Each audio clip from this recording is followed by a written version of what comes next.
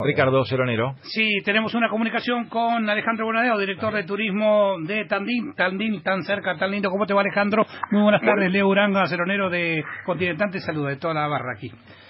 Como siempre, un gusto tomar contacto con ustedes. Saludo a toda la mesa y toda la audiencia desde Tandil. Bien, Alejandro, nosotros siempre damos aquí todas las opciones que tiene la República Argentina y especialmente los, los destinos turísticos cercanos a los centros emisores como Capital y Gran Buenos Aires y Tandil es uno de ellos.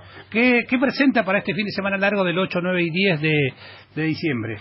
Bueno, muchas actividades ligadas a lo cultural, a lo deportivo y el vivir la naturaleza, vivir las sierras más antiguas del mundo, uh -huh. no solamente con caminatas, con una opción de el paisaje serrano, pero con actividades, la bici, el trekking, hacer escalada, hacer todo lo que la familia, los grupos de amigos y todas las edades pueden llevar adelante en nuestras sierras más allá de la gastronomía, de las actividades al aire libre, hay una propuesta cultural ligado a que también Tandil se ha ayornado en esto de dar una, opciones a la, al, tanto de día como de noche y esto es valorado por todos los visitantes. Está muy bien entonces el eslogan, tan cerca, tan lindo.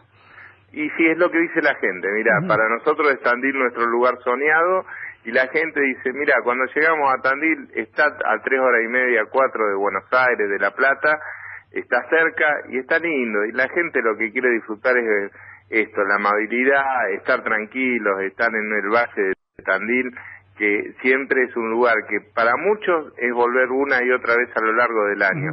Y para otros es la primera vez. Y para nosotros es muy lindo cuando podemos recibir, no perdiendo la esencia del pueblo, de ser buenos anfitriones, de, de estas cuestiones básicas que es el buen trato, que debería ser algo común, pero bueno, lo reconocen los visitantes que en Tandil se sienten así, bien atendidos, no solamente por el alojamiento, por la gastronomía, sino en el transitar en esos tres, cuatro, cinco días que los visitantes llegan a Tandil. Y esto, esto lo, lo lleva eh, a, a ser un destino turístico y cultural todo el año.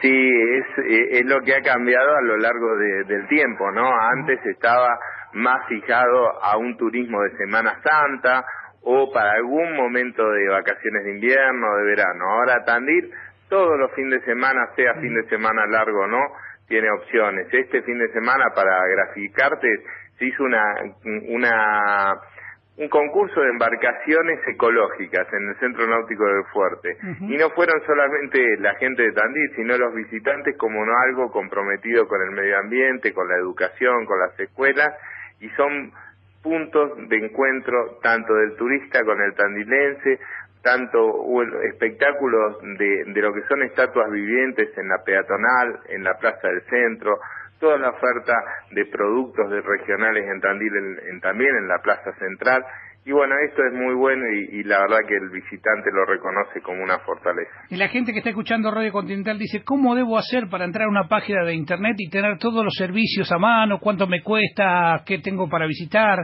cuál página tiene que entrar la gente Mira, a través de destinotandil.com.ar no solamente está toda dónde puede alojarse, dónde puede ir a comer, qué productos regionales, qué actividades, no solamente está el precio, sino la posibilidad de contratación Ajá. en línea.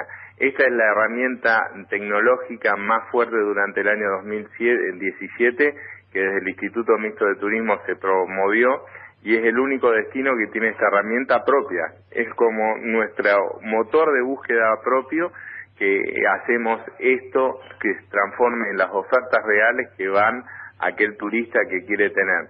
Desde un alojamiento, puede ser desde un hotel, desde una cabaña y con opciones. Aquel que se quiere dar el gustito de ir a la cabaña o al hotel con todos los lujos, aquella familia que quiere gastar menos e invertir menos y tiene opciones, o aquella familia que dice, mira, este año nos animamos con los chicos y nos vamos de campamento. Claro. Así que toda la opción, eh, Alejandro, está en destinotandil.com.ar, ahí encuentra la gente de todo. Así es, a través del Face, a través de Google, todos los medios eh, electrónicos ayornados a, a, a estos tiempos. ¿no? Alejandro Bonadeo, muchísimas gracias. Un fuerte abrazo. Como siempre, un gusto y nuevamente lo esperamos en Tandil, nuestro lugar soñado. Bien, la palabra de Alejandro Bonadeo, director de turismo de Tandil, tan cerca, tan lindo, Leo. Gracias, Ricardo. A vos.